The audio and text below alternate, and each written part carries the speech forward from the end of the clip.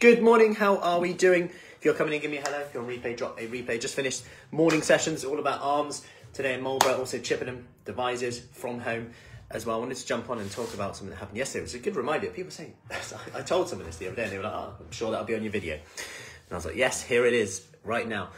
Um, so I'm chatting on the phone. I'm, I've got um, on my phone, like playing playing around on the on a call, messaging, catching up with stuff, and it's dark at this time. I'm sat in my car, okay, and I've got a few little snacks in there, apple, some yogurt, start eating an apple. Started eating an apple, nice, and I thought, two apples, good.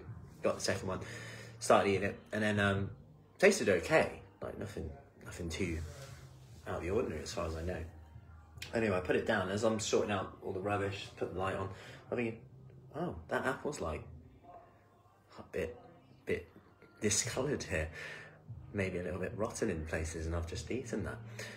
And the reason I'm sharing that isn't because to put you off your breakfast, which means you eat fewer calories and you burn more fat, but actually because the power of mindless eating and, and being distracted when you eat. And this reminds me of a study they did. They got people who just come out of a restaurant, so just had their dinner, and they're going to the cinema. Okay, they go to the cinema, and there's two, there's two options here. They give half the people extra large buckets of stale popcorn, and they give the other people small buckets of normal, delicious cinema popcorn. And then at the end, they hand it in and they see how much they ate. And they find that people just finish what they're given, even if it's stale. When they ask people, like, was it was it nice? Was it was it like did it, did it taste good? Like the stale popcorn, they were like, uh, yeah, it was it was okay. Like you know, it was, wasn't the best, but still ate it anyway. And that's the power of mindless eating. If we can take one thing into this this Christmas, including me of my rotten apples, is to be more mindful when we're eating. Enjoy it. Savor every bite. And we all we're all guilty of it, even me.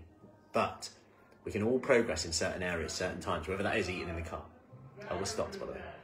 Whether that is sitting down when you eat and actually enjoying every mouthful. Whether that's saying, you know what, I'm only going to have a pudding dessert if I really want it, because there's so many substandard desserts that I put them on a pedestal. I think I'm going to have pudding and I don't enjoy it as much as I thought I would.